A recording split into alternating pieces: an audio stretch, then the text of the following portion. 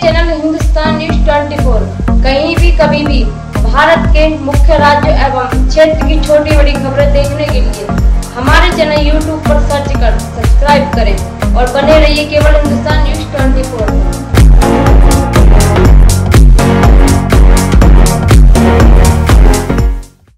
नमस्कार, मैं मृदुला श्रीवास्तव, स्वागत करती हूँ आपका हिंदुस्तान न्यूज़ 24 में। पहले प्यार, फिर शादी और बच्चा, उसके बाद पति हुआ फरार। पति को ढूंढते उसके घर पहुँची विवाहिता कि उसके पति और उसके दोस्तों ने जमकर पिटाई कर दी। किसी तरह वहाँ से निकलकर पूछते पूछते अस्पताल पहुँची, जहाँ उसका इलाज हो रहा है। दरअसल यह पूरा घटनाक्रम मुंबई से शुरू होकर पूर्वी चंपारण तक पहुँचा। मुंबई की रहने वाली अजमेरी खातून एक बैग बनाने वाली फैक्ट्री में काम करती थी। जहाँ उसके नैन, फैक्ट्री के मालिक मोहम्मद अबूजेर से मिले और देखते ही देखते दोनों एक दूसरे के करीब आ गए। इसी दौरान वह शादी के पूर्व ही दोनों के बीच शारीरिक संबंध बने और वह गर्भवती हो गई।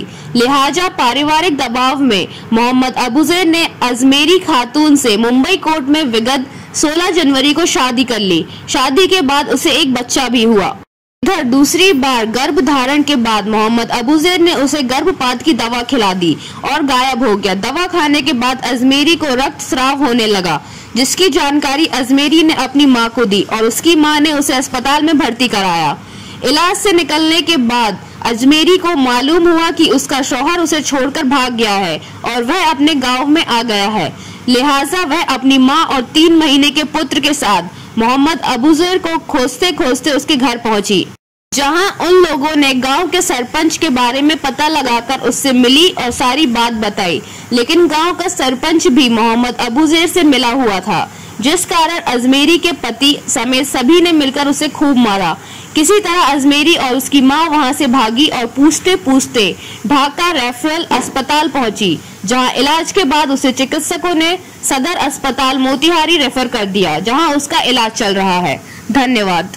हम लोग पहुँचे यहाँ यहाँ पहुँचे सरपंच के दरवाज़ा पर, बस सरपंच लगा, मारना चालू कर दिया। पूछे कि, अबू जैद किधर है? तो बोला, हम लोग नहीं जानते, अबू जैद को कहाँ है, नहीं है। बस उतने देर में दो चार आदमी आया और मारना चालू कर दिया।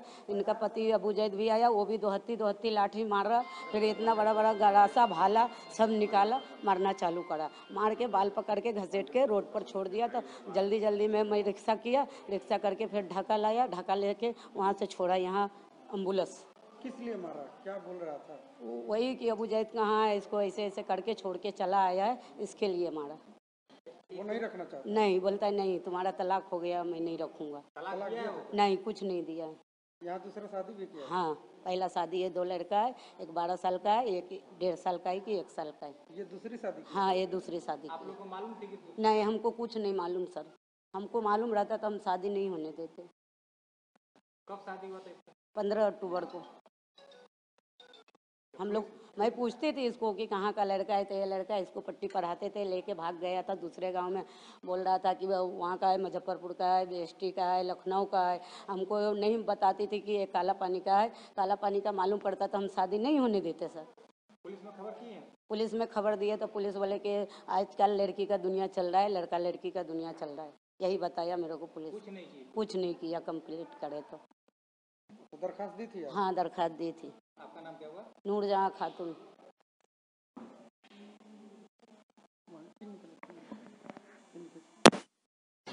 ना ना छोड़ दीजिए। सब सब छोड़ दीजिए। छोड़ दीजिए सब रहने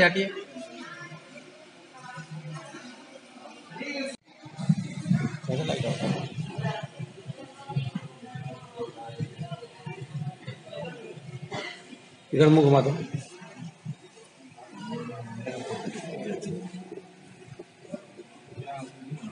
न्यूज़ में जाएम हाँ वो तो है लेकिन वो हम मंदिरों के टाइम ट्रेस बात किए हम लोग।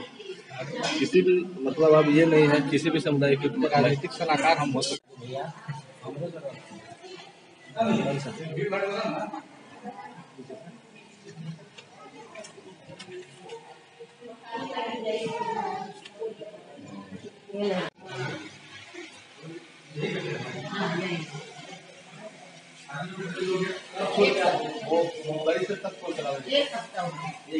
हाँ।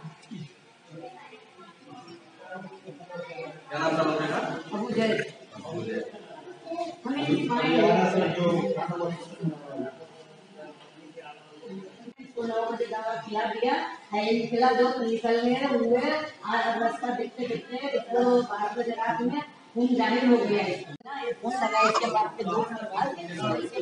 है इलाज करवाया, कितना दिन इलाज करवाया? एक एक दिन खाली रही है ज़बरदस्ती नाम कटा के जब मालूम पड़ा ना कि ये भाग गया गाँव पहले इनसे तब जाके ज़बरदस्ती डॉक्टर से नाम कटा के तो फिर वहाँ से आप उसके गाँव आए। कितने तारीख को गाँव आए?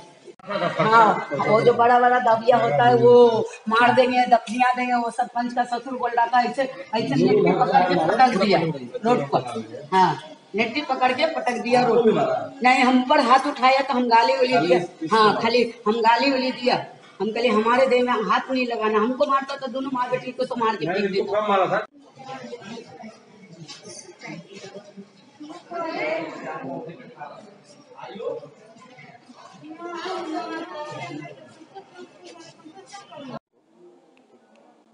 हम वहाँ पहुँचे।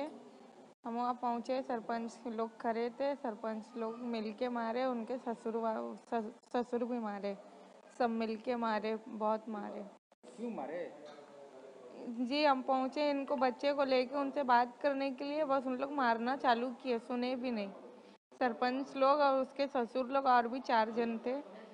हम जानते नहीं है उन लोग बहुत मारे मिलके उसके। ये मारे थे? क्या कह रहे थे? क्यों आए बोले? काय के लिए आए बोले? इसलिए मारे। तुम पति को लेने आई थी? हाँ। क्या शादी कब की थी? पंद्रह अक्टूबर में किए थे। तो ये अक्टूबर हो गया साल हो गया। कब छोड़कर भागे थे तुम्हारे?